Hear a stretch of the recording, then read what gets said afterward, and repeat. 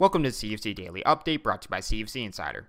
Purchase your exclusive CFC Insider membership today for access to rankings, analysis, and daily football recruiting coverage from across Canada.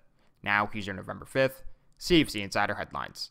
November is better known as Banner Month, and we got plenty of movement in the CFC 50 Week 10 rankings. Miller took out the Bulldogs claim their Regina title, while Centennial prevailed in Saskatoon to set up a provincial showdown. Catch up with all the playoff action over on CFC. It was a wild weekend at Delaware State, who swarmed Canada with offers for CFC 100's Taylor Burns, Kale Dava, and Akeem Mesidor, plus they had the CFC 60 Apollo brothers to their wish list. We caught up with the top prospects to learn more about the Hornets' recent surge. We like to use the moniker Coast to Coast around here, but CFC 100 Jackson Hume turned the slogan into a reality.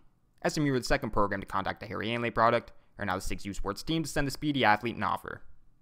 Lastly, Clint Utley is back to provide an update on three QBs spread across three classes who caught his eye during the regular season. Also, a reminder that the Recruiting Masters will stream tonight at 10 p.m. Eastern, 7 p.m. Pacific live on Facebook. This has been your daily update brought to you by CFC Insider.